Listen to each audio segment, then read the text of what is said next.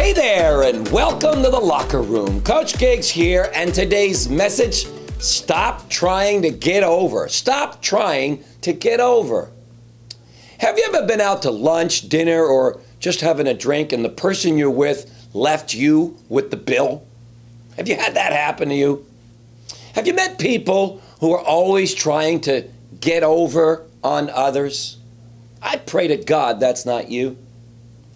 Not long ago, I was invited to a nightclub with some friends of mine, and the cost was $150 a head. When I arrived, I went up to the person in charge of the money, and when I went to give him the money, he said, Don't worry, Gigs, I got you covered. Now, I insisted to give him the money, but he insisted that I not. And so I said, Thank you. Now, in that moment, I felt real good. Well, my wallet felt real good. Anyway, I thought about that moment, and my whole life has I have always made sure that I have paid my share or more. I never want to get over on anyone.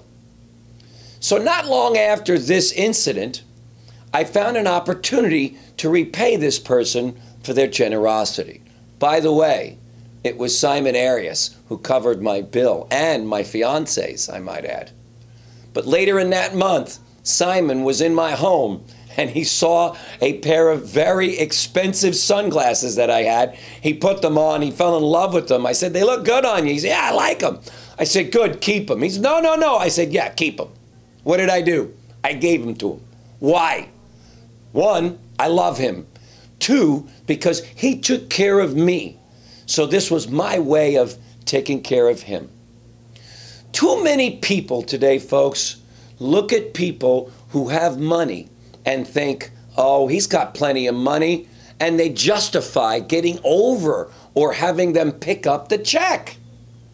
Some people, less if you have money or not, whether you have money or not, they try to get over on you.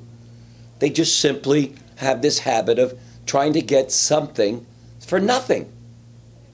I would say that there is nothing in life I personally dislike more when I feel that someone is trying to get over on me. How about you? Of course you don't. So, folks, let's all make sure that we never try to get over on anyone, no matter how rich they are, and instead bring something to that person, especially those with money. By the way, Rich people love when you do something for them more than anyone because very few people do anything for people with money.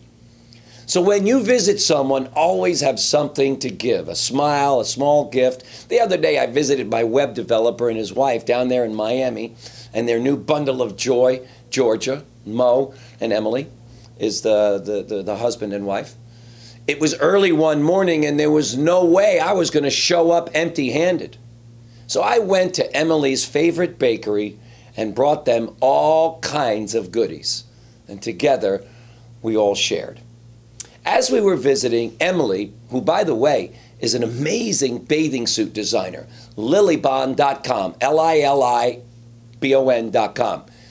Amazing bathing suits. She was showing my fiance her newest line. And after trying on a few of these bathing suits, my fiance got excited, so I decided to buy two of them.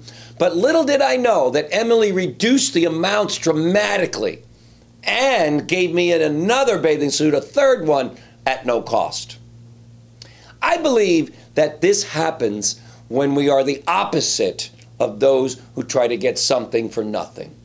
When we come bearing gifts and give good cheer, then the windows of heaven will open up and we will live an amazing life. So stop trying to get over and start giving, and you will for sure live your best life. Thanks for joining me, gang. We'll see you tomorrow in the locker room. Bye bye.